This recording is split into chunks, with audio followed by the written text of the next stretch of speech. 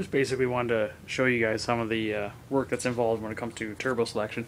I went and purchased a uh, GT35R with a uh, exhaust turbine of uh, 0.82 and uh, I realized it's a little bit big for my application and here's some of the math that I've been doing.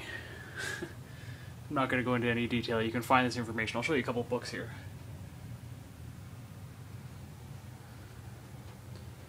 But uh, there's actually quite a bit involved when it comes to turbo selection, uh, where you live, your altitude, the air density, temperature, pressure drops, and you know caused by intercooler and intake and how much your engine actually needs, the displacement. There's a lot of uh, math involved to it.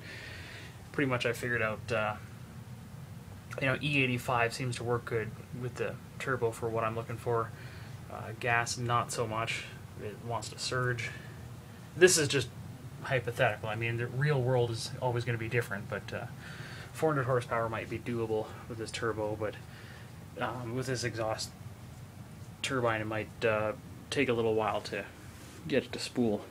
Anyway, books. First of all, really good book. Right here, this is a Turbocharging Performance Handbook from Motorbooks Workshop. Um, great book. Yeah, lots of information in there when it comes to the actual math involved. Um, besides all this, you can you can find out information on the internet, like Garrett's website will have uh, helpers and whatnot that can work with the math that's in this book to help you give an idea of how to map your compressor and whatnot.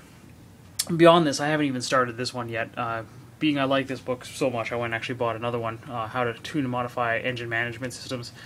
This is another book, lots of math involved, lots of theory. Um, these are pretty advanced. I mean, for somebody like myself, I have not gone post-secondary school, math, or anything like that, and really does help.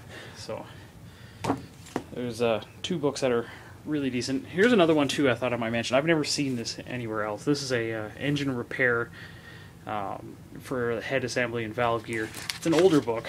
Um, I think it was a textbook for some school. I don't know how my uh, my father acquired it, but uh, this goes into a lot of detail about uh, your head, head work. Um, it's basically a textbook for people that uh, rebuild heads essentially. If you want to start from nothing, this is the type of book for you. It has a lot of math involved in it as well.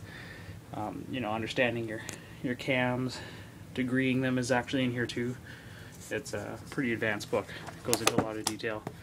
Um, find out who it's made by. Glencoe, Bennett, and McKnight. Maybe that's a publisher. There's a publisher, Bark House. Never heard of them. Anyway, good book. I, I acquired it through my father. Definitely recommend it. Helps a lot when uh, it comes to doing math and figuring all this junk out. But uh, that's just a heads up of what I've been doing the last few days.